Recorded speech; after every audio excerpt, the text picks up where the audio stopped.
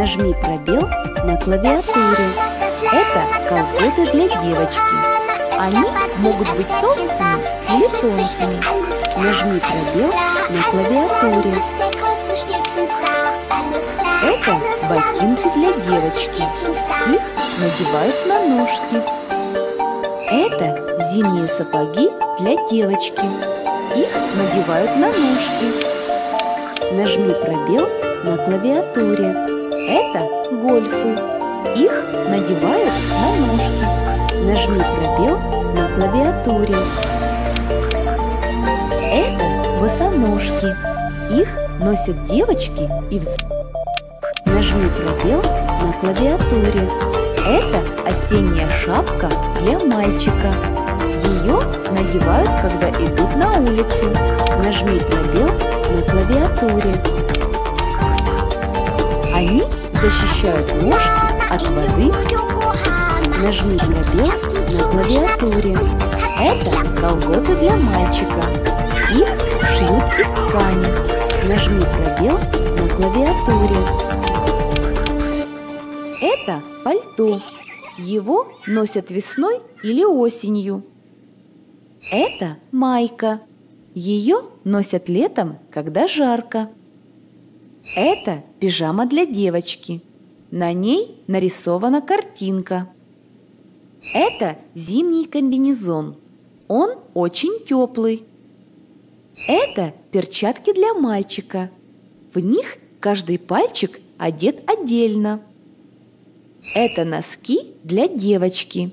На них есть рисунок. Это носки для мальчика. Шьют или вяжут из ниток.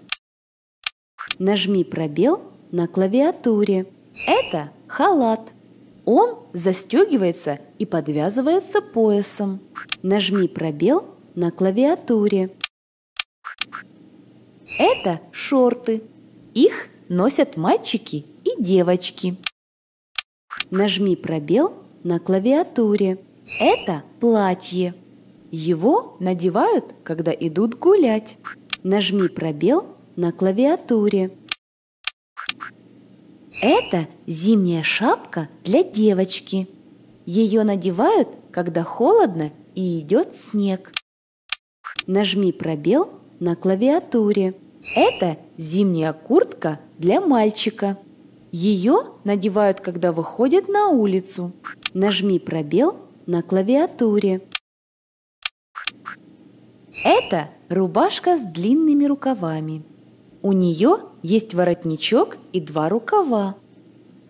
Это сандали. Их носят мальчики. Нажми пробел на клавиатуре. Это зимняя шапка для мальчика. На ней есть завязки, чтобы плотно закрывать ушки. Нажми пробел на клавиатуре. Это пижама для мальчика. В ней ложатся спать. Это берет. Его надевают. Нажми пробел на клавиатуре. Это свитер. Его вяжут из теплых ниток. Нажми пробел на клавиатуре.